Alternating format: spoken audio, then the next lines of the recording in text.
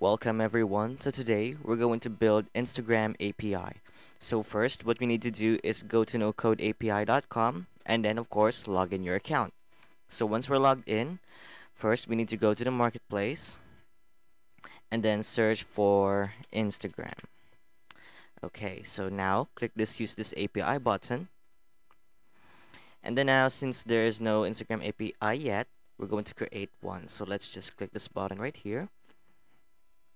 And then of course, let's give a name. Let's say hmm, my Instagram, okay? And then now it is asking for the long-lived access token. So for us to get that one, we need to go to the developer's website and it will lead us to the Facebook developers dashboard okay? So if you still don't have the dashboard yet you can create one. It's just easy. Just follow the steps when you click on this website okay? And then now what we need to do is we're going to get the access token. For us to do that we need to create the app. So just click this button right here this green button. And then now uh, we're gonna have to select the app type. So just uh, choose whatever you want depending on the type that you want. So let's say as for now let's click none. And then we're going to have to name it again. So let's say my app. Okay the next click this button right here create app. And then now it will ask for password. Uh -huh.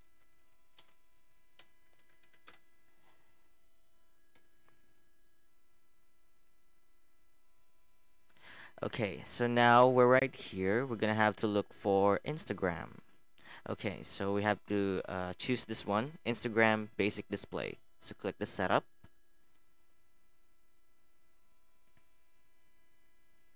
Okay, now so you can check it out. Uh, this information is right here.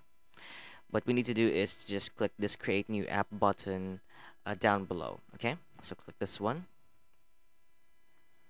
Okay, create app.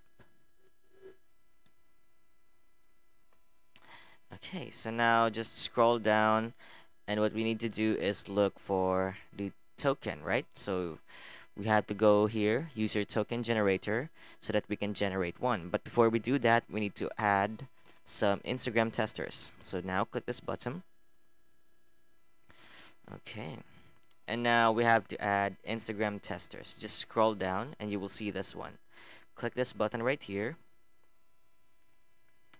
And we have to uh, type in the Instagram account that we need that we have to add. So let's say I'm gonna add my Instagram account. 2020 okay so it's right here. Click submit button.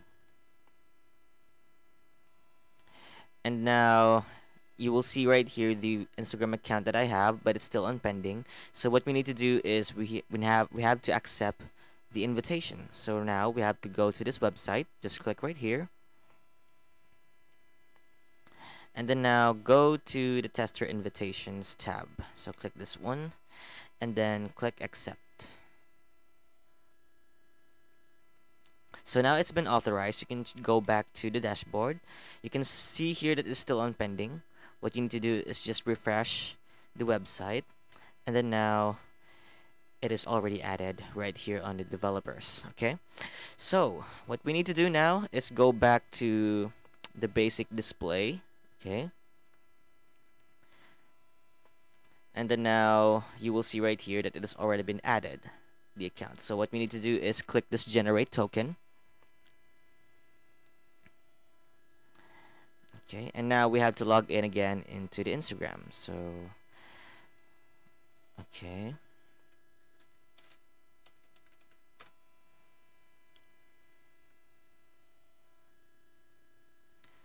mm -hmm.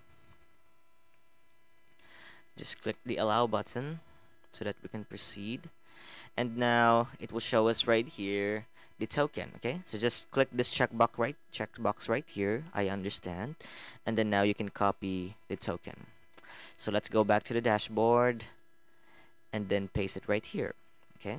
Now that you already filled up the two forms right here just create the button click the button and then now the API has been successfully created. So now use this API button